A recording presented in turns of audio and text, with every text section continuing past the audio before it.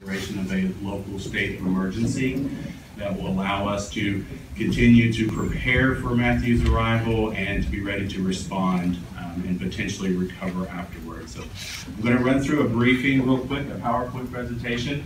It is the same briefing that um, been given this morning at the EOC at our all-hands briefing. So I'll run through that.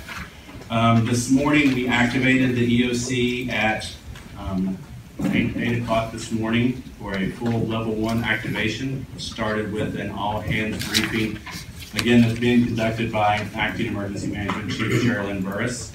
Um, activated the Citizens Information Center late yesterday to start fielding some calls from the public who had some questions about issues like sandbags and evacuation routes. So in a nutshell, over the last 24 hours or so, Hurricane Matthew has slowly creeped westward, um, which obviously increases the likelihood of some severe weather here in Manatee County.